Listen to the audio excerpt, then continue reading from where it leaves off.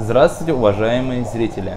Меня зовут Ленар, ведущий научный сотрудник сельхозотдела научно-внедрительского предприятия Башинком. Представлю вам моего собеседника Татьяну Николаевну Кузнецову, главного научного сотрудника биолаборатории научно-внедрительского предприятия Башинком. Здравствуйте. Сегодня многих агрономов волнует вопрос о снижении биологической активности почвы, в результате чего мы замечаем понижение интенсивности разложения растительных остатков в почве, накопление патогенов и вредителей, в частности на растительных остатках. Татьяна Николаевна, первый вопрос у аграриев связан с применением химических препаратов по защите растений. Влияет ли это на бактерии, живущие в почве? Если да, то как? Конечно. Сейчас уже не применяются семена, не обработанные химическими фунгицидами. То есть уже на поверхность семени наносится химический фунгицид, да, еще иногда наносится еще и минеральное удобрение. То есть семечко попадает в почву уже неся на себе, на своей поверхности много химических элементов. Правильно? Попадая в почву, значит, э, почвенные влаги, эти все вещества растворяются и окружают семечко плотным кольцом да, фунгицидов, которые нанесены на семечко, и минеральных вот удобрений, которыми растение должно, семечко растения должно питаться, ну и вегетирующее из него растение. Естественно, вот эта вся химия оказывает существенное влияние на ту микрофлору, которая существует в почве. Особенно большое действие могут оказать химические фунгициды. Слово фунгицид означает, что это химические вещества, которые нарушают жизнедеятельность грибов, подавляют жизнедеятельность грибов или полностью уничтожают. Рассчитаны они на то, что они будут подавлять жизнедеятельность фитопатогенных грибов, такие как фузариум, гельмин, да? гельминтоспориум, фузариум.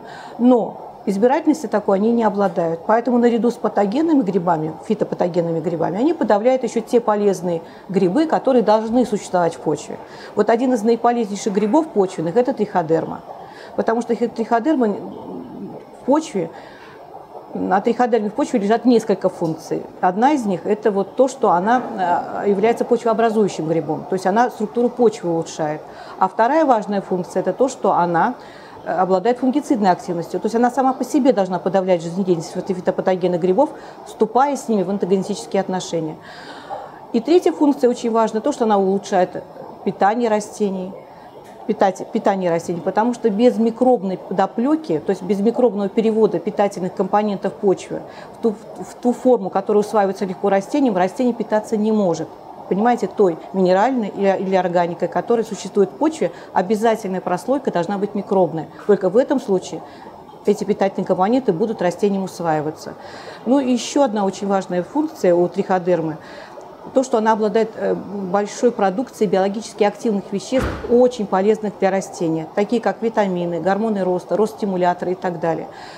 И вот э, когда нам привозят образцы почвы из разных регионов России, мы видим, что триходермы, мы с трудом можем обнаружить аборигенную триходерму.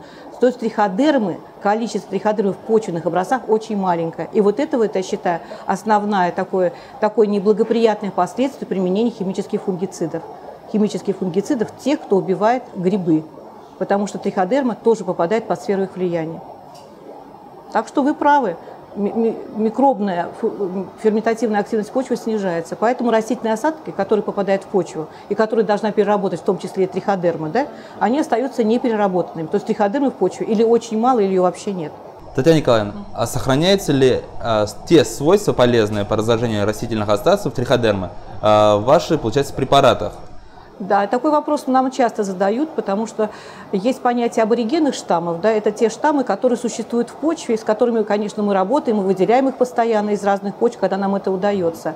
Вот. А затем, мы, э, значит, когда мы триходерму выделяем, она, э, допустим, является аборигенной, а потом мы доводим ее до производственного штамма. Понятно, что аборигенную триходерму, которую мы только-только получили из почвы, она значительно отличается от тех штаммов, которые уже используются в препарате. То есть мы называем их производственными штаммами.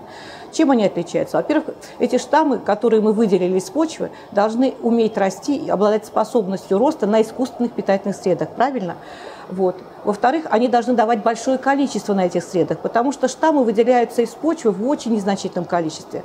Вот на грамм почвы приходится, ну вот мы разбавляя почву, например, да, титруя ее для того, чтобы выделить чистую колонию триходермы, мы обнаруживаем триходерму только в третьем-четвертом разведении. То есть получается это очень маленькое количество клеток. Это тысяча или 10 тысяч да, колоний на грамм почвы. Это очень незначительное количество.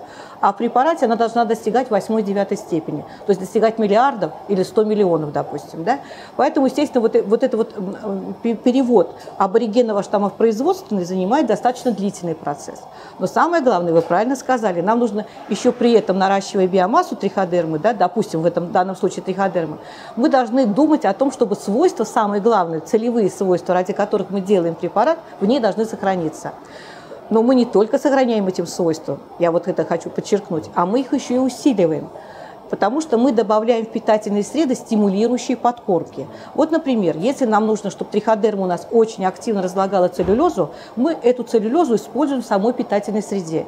И мы дел, э, значит, вот используя такие стимулирующие подкормки на всем протяжении процесса культивирования, мы увеличиваем исходную целлюлезу-литическую активность нашего аборигенного штамма триходермы в 50 и в 100 раз.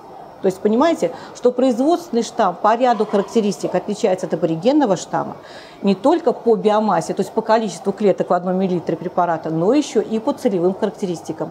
Если же нам нужно получить фунгицидную высокую активность штамма именно к определенным видам патогенов, то это тоже достигается тем, что мы ведем селекцию для того, чтобы наша триходерма как можно более активно подавляла фитопатоген. Понимаете? И поэтому и антогенетическая активность тоже усиливается в зависимости от того, какие задачи перед препаратом у нас ставятся.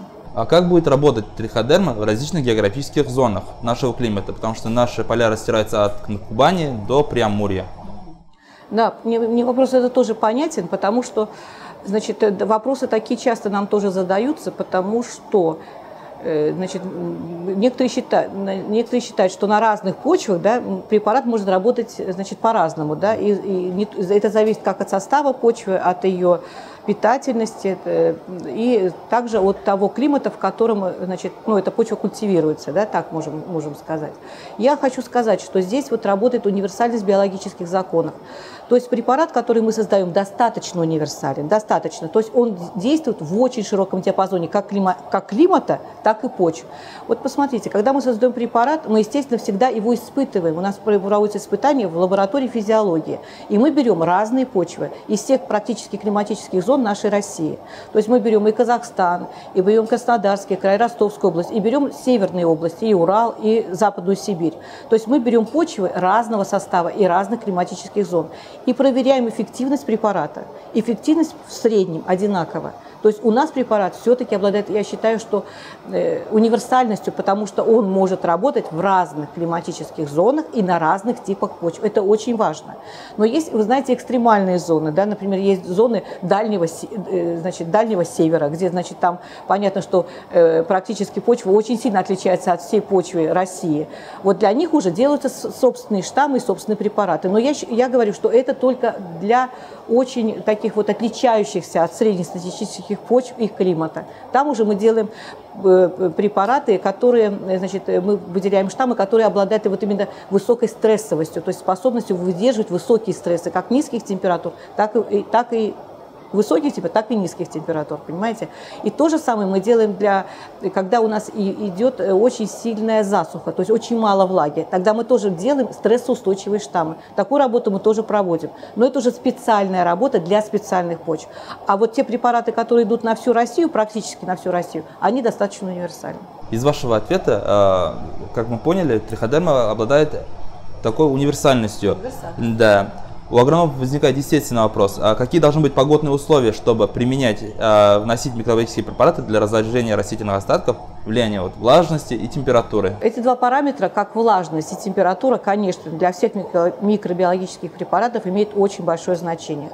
Но, знаете, есть такая вот интересная особенность у, вообще у бактериальной клетки, у микробной клетки. Грибы туда тоже относятся, к микроорганизмам. Значит, когда микроорганизмы мобилизуются и мобилизуются на каких-то твердых частицах, например, солома та же самая, да, солома – это полисахаридная цепочка, на которой хорошо сорбируется наша триходерма. Как только она сорбируется на частицах почвы, на частицах угля, на частицах э, растительных остатков, она приобретает повышенную устойчивость. То есть одно дело, когда триходерма плавает просто просто в какой-то жидкости, ни к чему не прикрепленная, она, конечно, обладает меньшей устойчивостью вот к этим неблагоприятным температурным там, погодным условиям. Но как только она сорбировалась, у нее мембрана стабилизировалась, то уже к погодным условиям она, конечно, уже более становится устойчивой. У нас вот триходерма, мы проверяли опыты, ставили в разных условиях, и температуры разные, и влажности.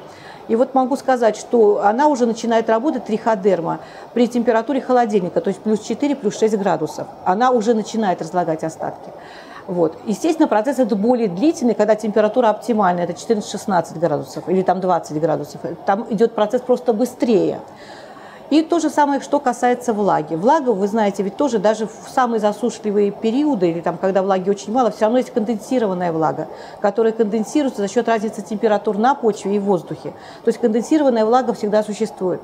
Поэтому как бы вот такой проблемы особенной по так, по наличию влаги и по, э, значит, э, по плюсовым температурам как бы даже не стоит. То есть процесс может идти медленнее, но он идет. И кроме того, имейте, такое, имейте в виду, что помимо живых микробных клеток в любом нашем препарате содержатся метаболиты – метаболиты, которые клетка вот микробная нарабатывает в процессе культивирования. Это уже готовые химические вещества, готовые ферменты. И они начинают работать сразу, понимаете, не, не, она, они, им не надо нарабатываться по вегетации самой, своего, самого микроорганизма. Они начинают работать сразу, как только попадают на тот объект, который является для них субстратом. Поэтому, в общем-то, я вот еще раз подчеркну, что в зависимости от влаги и температуры препарат может работать медленнее, но он работает. Понимаете? Татьяна Николаевна, тогда вот из этого вашего рассказа вытекает такой вопрос. Как хранится наша культура вот, триходерма в самом препарате? И, как известно, вот, препарат нашего компании, выпускающая это стерня-12, она состоит из комплекса микроорганизмов, в том числе и триходерма. А, как они уживаются с друг другом? Как вот расскажите особенности нашего препарата Понятно, и вот, сохранения да. культуры. Вот, значит, тоже я хочу подчеркнуть то такую одну важную вещь, что значит, препарат, препарат, он содержит не микроорганизмы в воде, а он содержит микроорганизмы в культуральной жидкости. В культуральной жидкости. И вот вопросы такие часто задают. У вас же споровые культуры, да, например, триходерма в споровой форме, бацилла у нас в споровой форме содержится, да они говорят, что не могут ли они в жидкой форме прорастать, то есть образовывать вегетативные клетки и погибать, потому что нет подходящих условий для их выживания. И вот я тоже все время стараюсь объяснить, что поймите, что вот эта культуральная жидкость, она содержит ингибиторы прорастания спор. То есть поэтому культура и переходит в спору, потому что накапливаются специфические метаболиты, которые заставляют по мере расходования питательных, э, питательных компонентов питательной среды переходить ей в состояние покоя, то есть споровую форму. Что триходерму, что бациллу, они содержатся в споровой форме, и метаболиты не дают возможности этим спорам в препарате прорастать. Но как только мы препарат разводим до рабочей концентрации, концентрация этих метаболитов снижается, и, и клетки начинают прорастать, правильно, переходить в вегетативную форму, как клетки бацилл сеной палочки, так и клетки триходермы. То есть получается, что все вот эти взаимодействия основные начинаются, когда мы разводим препарат до рабочей, до рабочей концентрации и в самой вот э, при хранении препарата они друг на друга никакого действия не оказывают, потому что они находятся в защитной форме, в защитной, в своей защитной форме, в споровой форме. Понимаете? И вот поэтому мы говорим, что вот уже э, требования к рабочему разведению препарата мы прописываем, да, что препарат может храниться в рабочем разведении, там, допустим, сутки, там, трое суток, э, неделю, там, где как. Вот для разных препаратов эти, эти временные интервалы разные. Но это касается уже рабочего разведения раствора. А в концентрированном растворе, я еще раз подчеркиваю, что они находятся в строго споровой форме и друг на друга влияния не оказывают. Хорошо. И вот э, сельхозтоваропроизводителя возникает такой вопрос у него. А, на рынке представлено очень много различных препаратов, разлагающих стельню, в том числе в составе прописываются различные виды триходермы. А, как вы прокомментируете э, вот этот вопрос наших аграриев? Как выбрать, выбрать наиболее эффективный штамм? Ну, смотрите, значит, э, конечно, триходерма – это очень большой род, там много очень видов есть, да. Вот, они, в принципе, все обладают сходными свойствами, то есть вот фунгицидными свойствами, те, которые используют производственники в своих препаратах, и, и, и, и значит, они обладают целлюлезолитической активностью, способностью разлагать вот эту самую стерню. Но есть э, виды, которые э, значит, вырабатывают больше э, значит, антибиотических, фунгицидных веществ. Есть виды, которые больше вырабатывают целлюлезолитических свойств. Кроме того, эти свойства и те, и другие можно усилить по мере вот, производства препарата. Поэтому всегда прописывается, для чего используется этот препарат. Понимаете? Вот пишут, например, триходермин, например, фунгицид. Да? Значит, все-таки у него, у него будет и целлюлезолитическая активность. Но главное направление, в котором применяется препарат, это сельхозники увидите, да, что там написано фунгицид. Это главное его свойства. Значит, эти свойства у него повышены. Может быть, за счет снижения целлюлезолитической активности. Если же пишут, что препарат для, применяется триходерма для разложения стерни, значит, у нее уже повышены целлюлезолитические активности. Фунгицидные свойства при этом остаются. Может быть, они будут снижены. Понимаете? Вот поэтому так. Вот я говорю, человек занимается физической и умственной работой, да. Если он предпочитает физическую работу, умственные способности у него будут, наверное, все-таки немножко снижаться. Вот тут, тут то же самое происходит со штаммами. Спасибо вам, Татьяна Николаевна, за столь э, полную и очень полезную информацию. Предположу, что наши аграрии будут рады видеть вас еще. Спасибо за внимание. Всего доброго. До новых встреч.